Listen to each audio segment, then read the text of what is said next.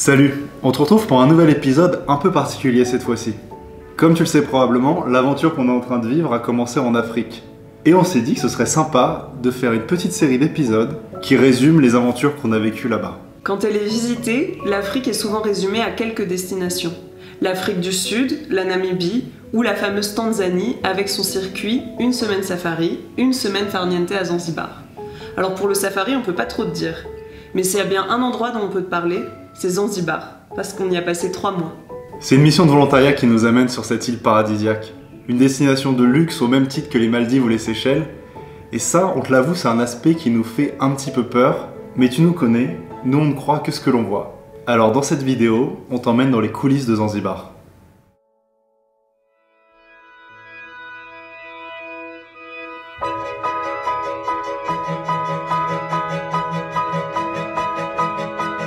Impossible d'emmener la grosse baleine sur l'île.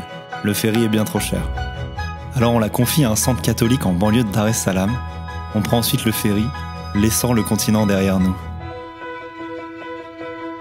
Il nous dépose sur le port de Stone Town, la ville principale de l'archipel.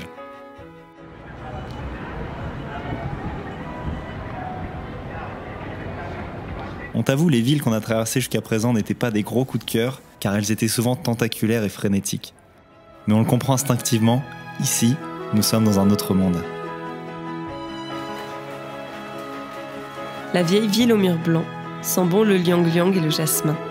Ici, tout le monde se connaît. Alors, pas question de se sentir en insécurité dans la rue. On tourne à droite, à gauche et on se perd. Mais toutes les ruelles mènent à des carrefours. Ici, on prend le thé, le café ou une coco fraîchement coupée. Entre les palmiers et l'eau violette, l'air est doux. Nous avons ce sentiment. Zanzibar va nous plaire. On en oublie presque que cette ville porte un lourd fardeau. Une histoire qui laisse des cicatrices indélébiles.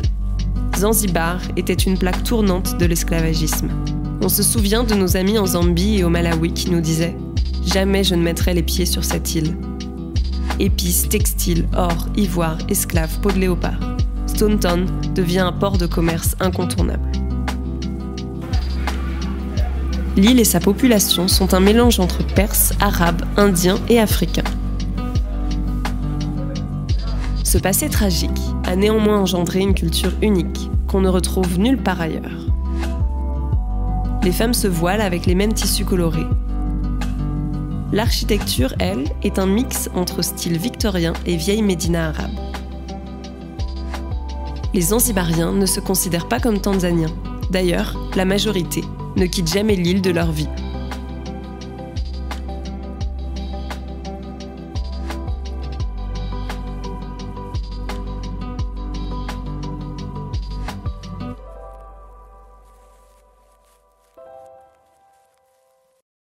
L'île n'est pas grande. On la traverse en 4 heures maximum avec ce nouveau bébé baleineau qui nous accompagnera pendant nos explorations. Nous quittons Stone Town pour le centre de l'île. Ici, on ne croise aucun touriste. Sur la route, on est déjà ébahi par ce qui se présente devant nous. Au beau milieu de l'océan Indien, l'archipel d'Ugunja offre tout ce que la nature fait de plus beau.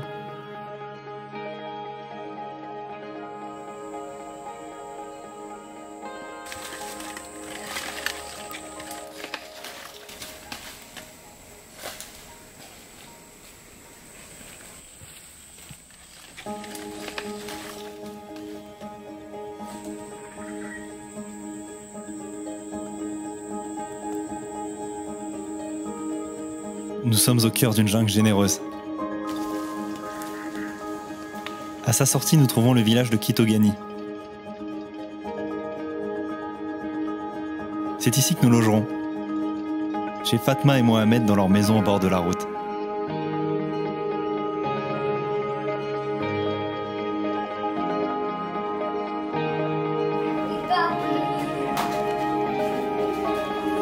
Kitogani est un carrefour entre deux voies empruntées tous les jours par des centaines de touristes. Mais personne s'y arrête. Assis du muret de la maison, on les observe passer à toute vitesse dans les minibus climatisés. Fatma s'occupe d'un petit café où elle vend du thé et à manger aux gens qui passent par ici. La vie s'écoule doucement. Kidogo, Kidogo.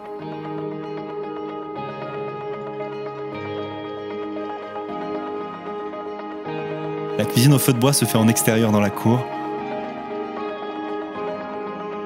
En fin de journée, il y a les cours d'anglais à l'école avec Mohamed.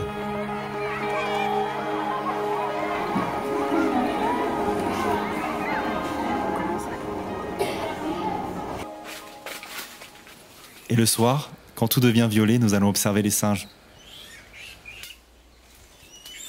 Les Columbus roux de Zanzibar sont uniques au monde. Alors on s'allonge par terre au pied d'un arbre et eux sautent de branche en branche.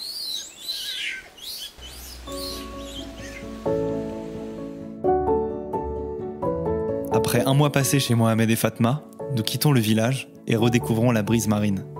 Un nouveau projet nous attend sur le littoral. C'est notre ami Abou qui nous trouve une maisonnette sur la plage à un prix très abordable. On ne peut qu'accepter.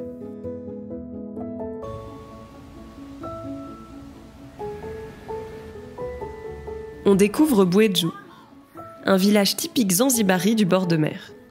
Les maisons sont faites en coraux et les rues en sable, ce qui donne un air qu'on ne trouve que là-bas. Rapidement, on nous connaît. Les gens commencent à nous saluer et on discute. Ici, on vit dehors.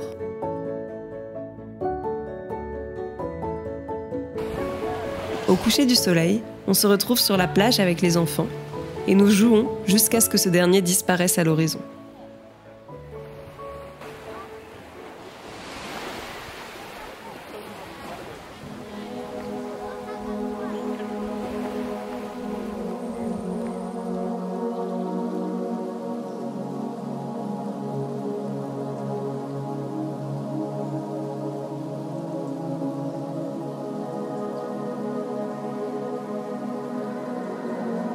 Les habitants vivent avec la marée, les pieds dans l'eau ou sur des bateaux, à ramasser algues, coquillages et crustacés.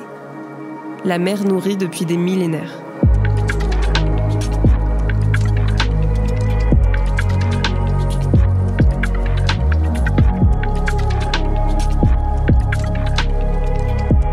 Malheureusement aujourd'hui, cet équilibre est menacé. La vie de village n'est plus aussi tranquille qu'avant.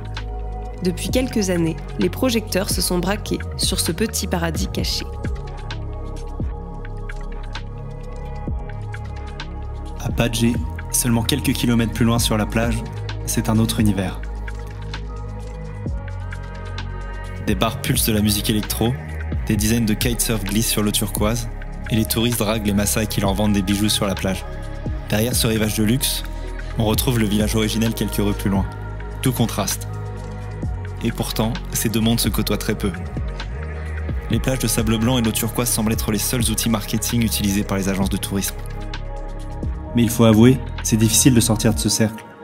Car pour être sûr de faire un maximum de profit, les hôtels insistent sur le fait que de se balader seul, c'est dangereux. Même si le tourisme génère de nombreux emplois et opportunités économiques, le tourisme de masse et son industrie ont des conséquences sur la culture zanzibari et la biodiversité présente sur l'île. Les villageois se retrouvent souvent exilés de leur terre ancestrale au bord de l'eau. Accéder à la mer, leur ressource principale, devient de plus en plus complexe.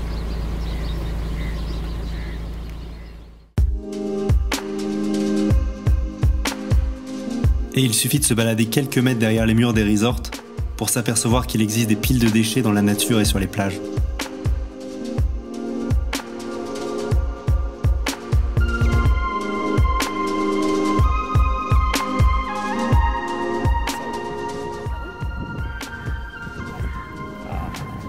On est dans l'archipel de Zanzibar, dans le village de Bouedjou. Et aujourd'hui, tout le monde se mobilise, villageois comme touristes, pour nettoyer la plage. Et il en a vraiment, vraiment besoin. Ça se fait dans la bonne humeur. Les enfants jouent en même temps, tout le monde est ensemble, rigole et on passe un très bon moment. Une grande collecte de déchets sur la plage de notre village jusqu'à Padgé. Les enfants des écoles sont au rendez-vous, leurs parents, jeunes du coin, ainsi qu'un groupe de touristes volontaires venus en renfort. Tous ensemble, nous passerons la matinée à ratisser la plage. Même si les déchets proviennent principalement des complexes hôteliers, L'introduction du plastique dans la vie de village sans ramassage d'ordures participe elle aussi à cette catastrophe écologique. Mais cette initiative fait du bien. Elle montre qu'on a toujours le choix de faire autrement et que le sort de Zanzibar n'est pas encore scellé. On peut faire les choses autrement, surtout en tant que touriste. Jouer, partager, encourager les petits commerçants, respecter les coutumes locales, prendre le temps de créer du lien. Depuis notre départ, de nouvelles collectes de déchets se sont organisées. À Bouedjou, la vie suit son cours. À Kitogani, Fatma continue à servir ses délicieux chapatis et le thé. Malheureusement, Mohamed est tombé malade. Un glaucome chronique qui le rend progressivement aveugle et l'empêche d'enseigner l'anglais. Mais nous cherchons une solution pour acheminer et financer son traitement.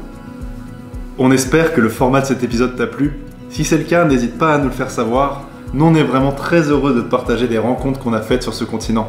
D'ailleurs, tu peux nous faire un commentaire s'il y a un lieu qui t'intéresse particulièrement parmi tous ceux qu'on a traversés. Et en attendant nos prochaines aventures africaines, on te dit à la semaine prochaine.